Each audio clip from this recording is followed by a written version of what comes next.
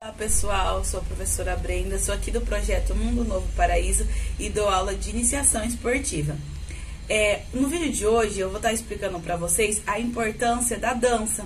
Muitas pessoas nem sabem, mas a dança é considerada também um esporte. E tem algumas modalidades que são alguns ritmos de dança que se encaixam em Olimpíada ou até mesmo em algumas competições.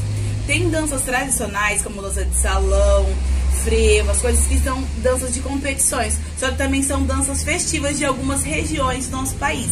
Nos próximos vídeos eu vou estar explicando certinho cada uma delas, o que cada dança tem em cada região, quais são as danças mais conhecidas, tá? E algumas danças que também são através do esporte, que nem um exemplo é a capoeira, que eu também vou colocar num próximo vídeo, a ginástica rítmica e muitos outros, tá? Então esse vídeo é mais para informar o benefício da dança, que além de trazer benefícios para o nosso corpo, traz também para nossa mente. Então, eu quero convidar vocês a dançar. Grava um vídeo dançando algum ritmo de música que vocês gostam, que nos próximos eu vou estar tá colocando aqui e citando alguns que mandaram pra gente, colocando aqui para vocês verem que na nossa região tem alguns temas que a gente gosta, né? Alguns ritmos de música. Vamos ver se tem algum mais favorito de vocês que eu quero colocar no próximo vídeo, tá bom?